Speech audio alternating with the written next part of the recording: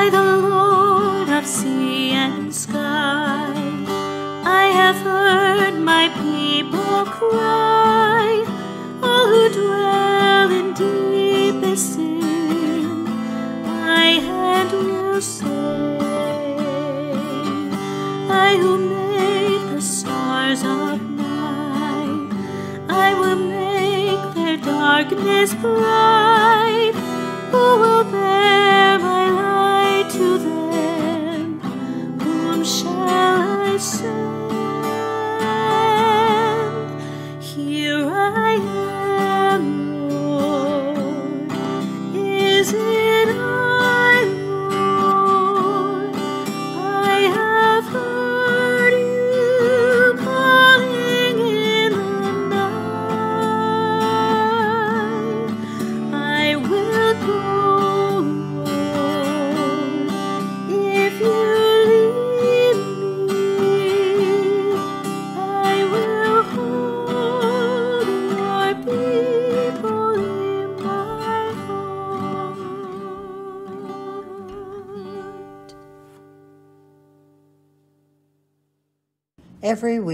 Is a new week, another chance to say, Here I am, use me. Every day is a new day, another chance to say, Thank you for yesterday, thank you for tomorrow. Every hour is a new hour, another chance to say, Again and again, make me new. We do not come to this place to stay the same. We come to this place to be changed. So let us worship our holy God, who created yesterday, will create tomorrow, and even now is creating something new. Thanks be to God. This is the day that the Lord has made. Let us rejoice and be glad in it. Thanks so much for joining us today on this fifth Sunday of Lent. We are glad that you're here with us. You might want to press pause right now and grab a few things that you'll find helpful. Your Bible, perhaps a candle to light, and whatever it is that you'd like to use for your communion emblems. Then, once you've gathered those things, unpause us and we will continue in worship together. Will you join me in prayer? Holy God, Scripture tells us that your word is written on our hearts, but we struggle to hear it. Is it possible that we have covered up your words with our own self narratives? Is it possible that we have erased your truth to write our own? Is it possible that we have forgotten your words entirely? Take us back to the beginning. Remove the self talk that distracts. Clear away the cobwebs of doubt. Show us how to look inside ourselves for your truth, and then write on our hearts once more. We are listening. We are hopeful. We are here and lift our voices together to say the prayer Jesus taught. Our Father, who art in heaven, hallowed be thy name. Thy kingdom come, thy will be done, on earth as it is in heaven. Give us this day our daily bread, and forgive us our sin as we forgive those who sin against us. Lead us not into temptation, but deliver us from evil. For thine is the kingdom, and the power, and the glory forever. Amen.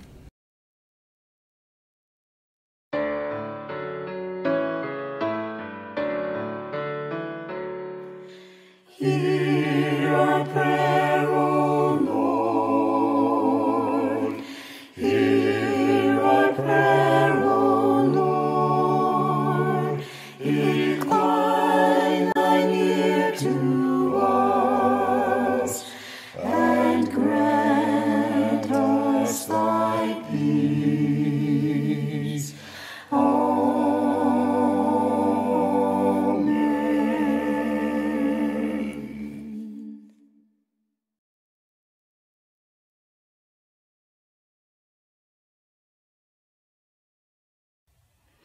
Our scripture reading comes from Jeremiah chapter 31, verses 31 through 34.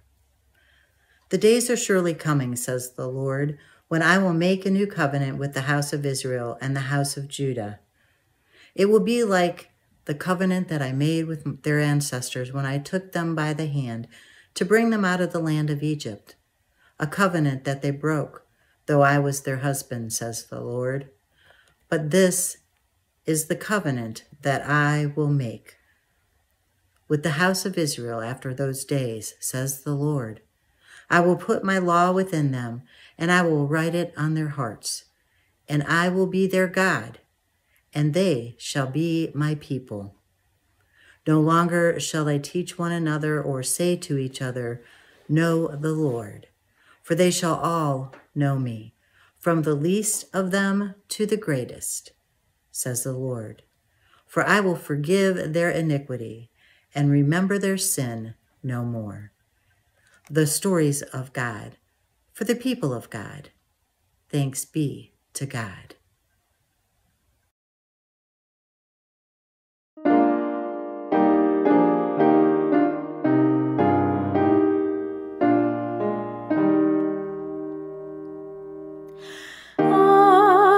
With me, fast falls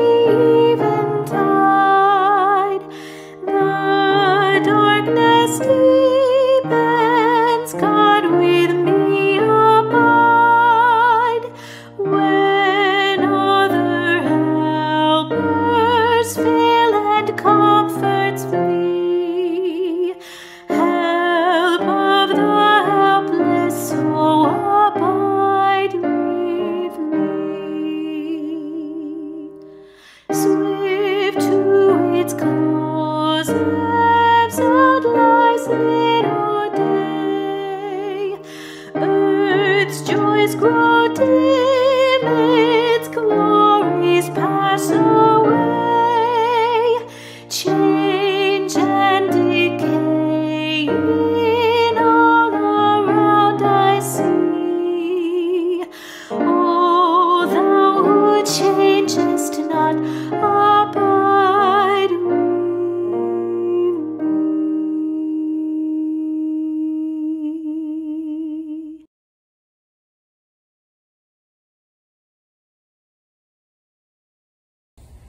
Our gospel reading comes from John, chapter 12, verses 20 through 33. Now those, now among those who went up to worship at the festival were some Greeks. They came to Philip, who was from Bethsaida in Galilee, and said to him, Sir, we wish to see Jesus. Philip went and told Andrew. Then Philip and Andrew went and told Jesus. Jesus answered them, the hour has come for the Son of Man to be glorified. Very truly, I tell you, unless a grain of wheat falls into the earth and dies, it remains just a single grain. But if it dies, it bears much fruit. Those who love their life lose it, and those who hate their life in this world will keep it for eternal life. Whoever serves for me must follow me, and where I am, there will be my servant also. Whoever serves me, the Father will honor. Now my soul is troubled, and what should I say? Father, save me from this hour? No, it is for this reason that I have come to this hour. Father, glorify your name. Then a voice came from heaven. I have glorified it, and I will glorify it again. The crowd standing there heard it and said that it was thunder. Others said, An angel has spoken to him. Jesus answered, This voice has come for your sake, not for mine. Now is the judgment of this world. Now the ruler of this world will be driven out. And I, when I am lifted up from this earth, will draw all people to myself. He said this to indicate the kind of death he was to die the stories of God for the people of God. Thanks be to God.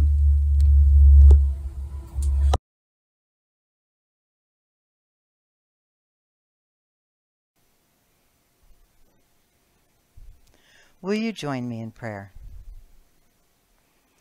Gracious and loving God, may the words of my mouth and the meditations of my heart be acceptable in your sight, for you are our strength and our Redeemer. Amen.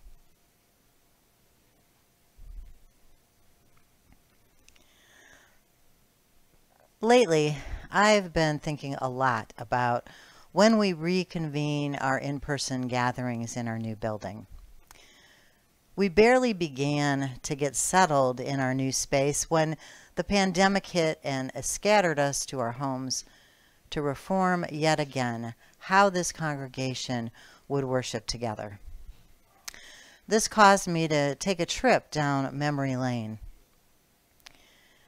It's been almost six years since I was called to First Christian Church of Ravenna as their pastor. As I entered this new role and began to build relationships with folks, and um, it was just an exciting time for all of us. It didn't take long uh, before we began the difficult but necessary conversations of the realities facing the congregation an oversized building with an insurmountable amount of deferred maintenance made the writing on the wall visible. Do something or die. With the congregation overwhelmed by the enormity of the situation, it would take the next couple of years for us to wade through the possible scenarios for a way forward. Ultimately, it came down to two sell the building and move on, or choose to stay and plan our graceful exit from ministry. Either way, change, great change, was in the future of this congregation. Change, even when welcomed, means death. We realized that change would happen either with us or to us. We could die to some things so that we could live to others, or we could hold on to what is and die with it. Our building was that a single grain of wheat Jesus talked about that when it fell away could bear much fruit. We decided to be reformed rather than plan our funeral. Both of our scriptures today talk about great change, life altering change. In our gospel reading, we join Jesus as he shares once again with his disciples hints of what's to come and the choices they would need to make. This passage takes place right after Jesus' entry into, into Jerusalem. Imagine those following him and the hope and the excitement building as they looked forward to this Messiah who would save them from the Roman Empire that had oppressed them for so long. Imagine that the air is charged as an occupied people remember God's liberation of their ancestors from another empire. They're aware of Jesus' wonders and are anxious for restoration. As his lore grows and visiting Jews from the diaspora seek him out, Jesus shares the vision. In order for the seed to bear fruit, it must die. Those who follow him must go where he goes. Whoever tries to retain their life will ultimately lose it. This is troubling because the Messiah was expected to live forever. Jesus is again defying expectations. But for those who were worried, a voice from heaven confirms Jesus' identity. It was clear life was changing and big things were on the horizon and not in the way that they expected. In our text from Jeremiah, the people of Judah faced a crisis. Their temple had been razed by the Babylonians, and their king dragged off in chains. The temple, fallen like that chaff of wheat, seemingly destroyed, yet ultimately poised for reformation. They felt as though they lost their lives. They had lost their power and prestige, their freedom and security, and in their eyes, they had lost their God too it seemed that God was no longer faithful to the covenant of their ancestors. But Jeremiah comes along and says to the people, even in the midst of this destruction and death, God is still here. God remains faithful. What is in question is your faithfulness. You are the ones wavering here, not God. Instead of yet another word of judgment, the people received this lavish promise, this unexpected good news. God will bring newness out of destruction. God will bring hope where there is no hope. God will bring life out of death. God will make a way where there is no way. The days are surely coming when the people, from the least to the greatest, will know God. The people will be reformed. God will write on their hearts. Despite humanity's constant breaking of covenants, God continues to seek reconciliation and pours out grace upon grace. Why not let this grace transform and reform us. It's in receiving God's grace, responding in gratitude, and offering grace to others that God forms us into who we were made to be.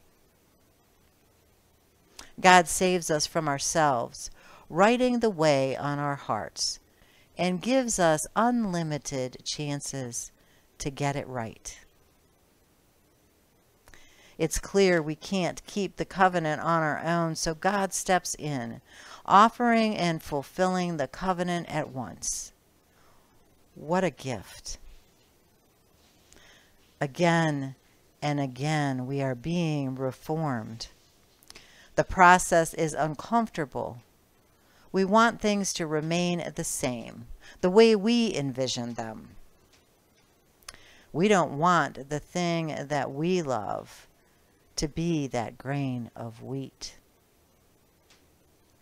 And yet, again and again, we read these stories that tell us that is not possible. Change is inevitable, but the good news is that when that grain of wheat falls to the ground, it has the potential to bear much fruit. the events of 2020 made us keenly aware of the broken grains of humanity that needed to fall away. We can't seem to see past ourselves, neglecting our neighbor and undoing creation. We repeat past patterns, and the low moments of history keep echoing again and again. We point fingers we shrug responsibility. Yet the year 2020 taught us more about change than we realize. 2020 also reformed us as communities of faith. For our church, change involved leaving our newly occupied building only to discover that community and relationships remain strong, even when we are physically distanced we discovered that our ministries flourish, even though we accomplish them a little differently.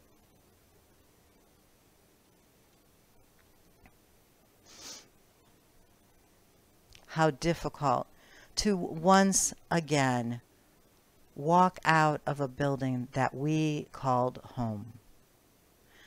We've been here before not so long ago. We walked out of our beloved building after over a hundred years of history. And even though this time we know we will return at some point, the familiarity of letting go of something we love rises to the surface. The grain of wheat is falling to the ground again and again. We continue to be reformed. God remains faithful and God continues to write on our hearts. We desire for God to write on our hearts so that God's law can reshape and reform us from the inside out. Reformation is a journey of letting the old fall away and something new to emerge. Of returning to God's words over and over. Of being drawn into the heart of God. Again and again, we are reformed. Thanks be to God. In the Gospel of John, a group of Greek people approach the disciples and say, We would like to see Jesus. It's a brief, beautiful moment that the text doesn't spend a lot of time on, and yet it always catches my eye.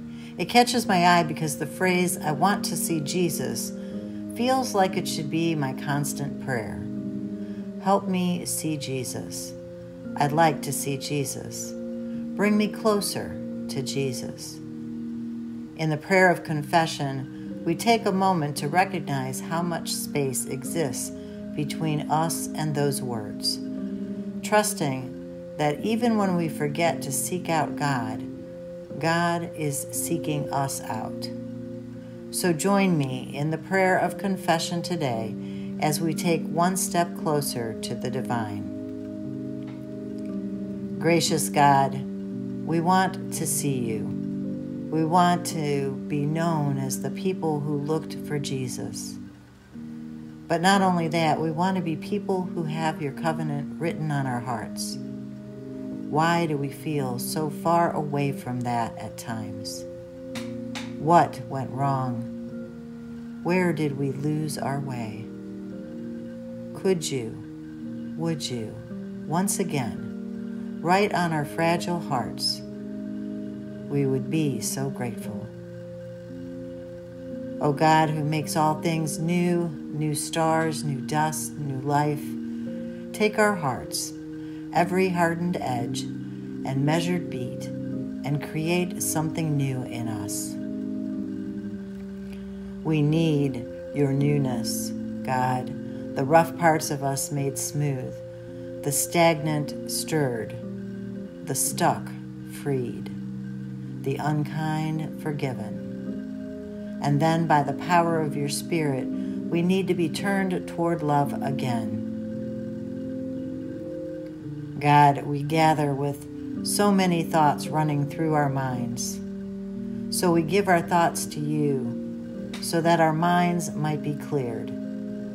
We give you our worries, our discretions, and most of all, we lift to you all those who need your loving touch, your healing hands, your comfort.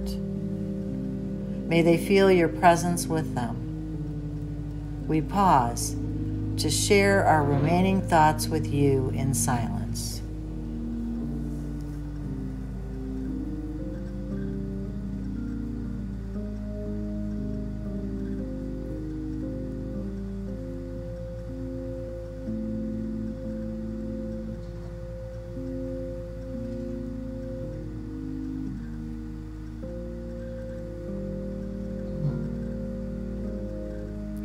As we continue throughout Lent, may we be reminded of those things that need to fall away so that new life might emerge. As we move closer to the cross, draw us near. Give us courage to put one foot in front of the other to share your stories with all we meet. In the name of Christ we pray. Amen.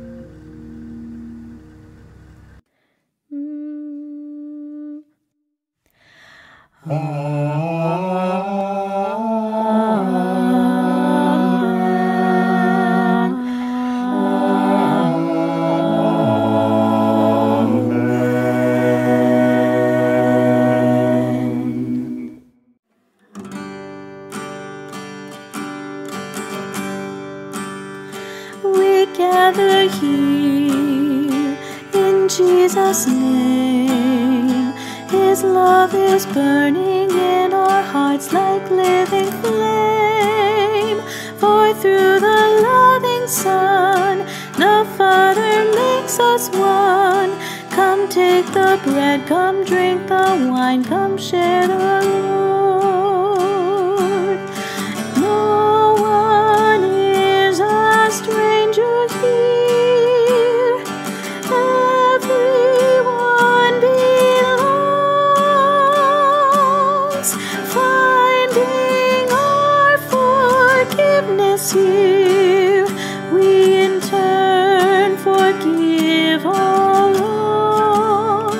We'll gather soon where angels sing. We'll see the glory of our Lord and coming King. Now we anticipate the feast for which we wait. Come take the bread, come drink the wine, come share the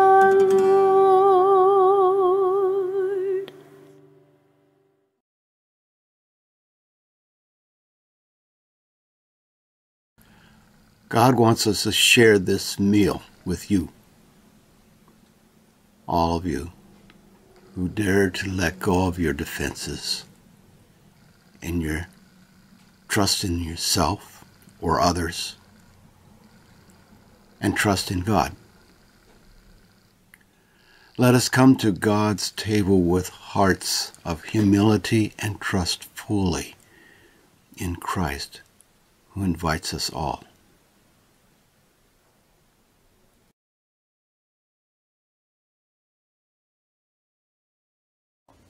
As we each gather around our table, we remember the night that Jesus gathered with his disciples in the upper room. When he took the loaf of bread and blessed it and broke it and said to them, This is for you. Take and eat. Remember me. He lifted up the cup and he blessed it. And he said, This is the cup of the new covenant, and this cup is for you. So take and drink and remember me. Each time we gather at this table, we remember and we proclaim the Lord's life, death, and resurrection until he comes again. It is God who invites us to this table, and we come, each and every one of us, just as we are.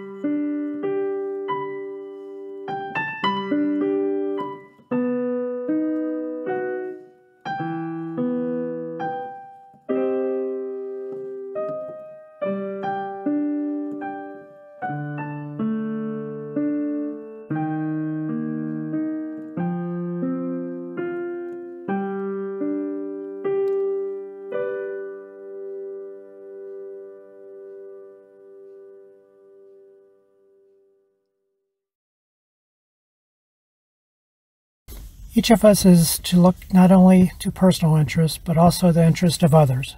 We come together as a church of Jesus Christ to do this. We are devoted to the mission whose benefits not for us alone. This is our opportunity to share in the important work in this community and around the world. Our sharing brings us closer to those who are in need of discovering God's hands and feet in a broken world. Let us be those hands and feet as we share the abundance we have been given. Let us pray. Holy One, your hearts abound with gifts. Receive this offering as a sign of our trust in you and our intentions to live surrounded by your mercy, inspired by your spirit, open to your to the joy of your presence, hospitable to one another, and generous towards the world, your world. Amen.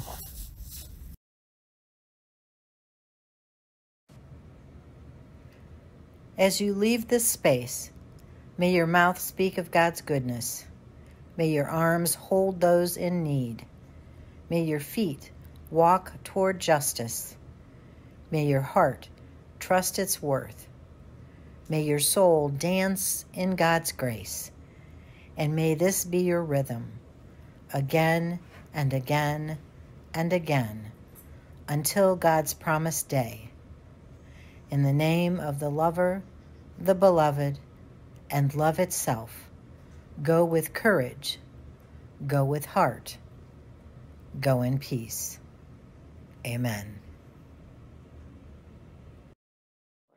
Go in peace, and the peace of God be with you this day.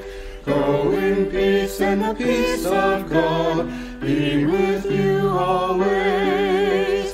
Celebrate and share the joy. Celebrate new life. Go in peace, and the peace of God be with you